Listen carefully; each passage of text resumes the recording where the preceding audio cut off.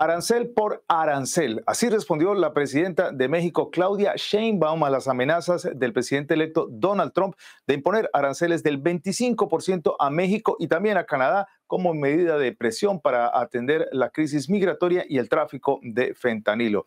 En México no cayó nada bien esta noticia y ya hubo respuesta. Karen Murillo nos tiene los detalles. Adelante, Karen.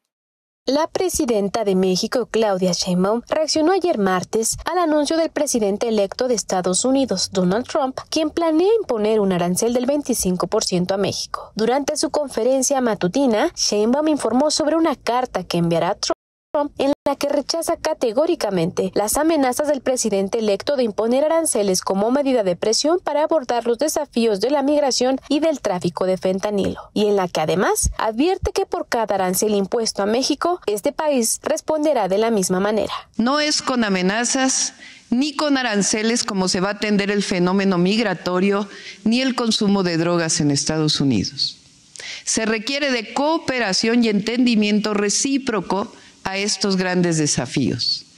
A un arancel vendrá otro en respuesta y así hasta que pongamos en riesgo empresas comunes. En este contexto, la mandataria destacó los esfuerzos del gobierno mexicano, que este año ha incautado toneladas de drogas y ha detenido a 15.640 personas relacionadas con delitos de narcotráfico. Mientras que en materia migratoria, subrayó que las políticas integrales de atención a migrantes han reducido en un 75% los encuentros en la frontera entre ambos países de diciembre de 2023 a noviembre de 2024.